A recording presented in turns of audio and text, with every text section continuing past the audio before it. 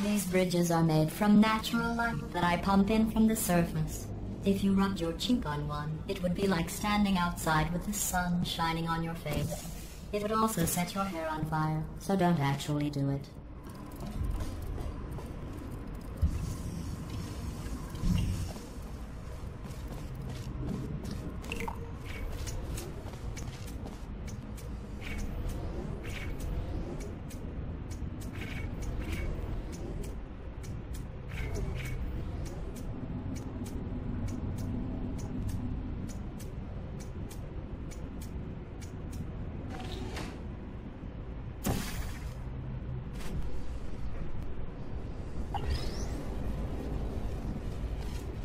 Weighted cubes calibrated.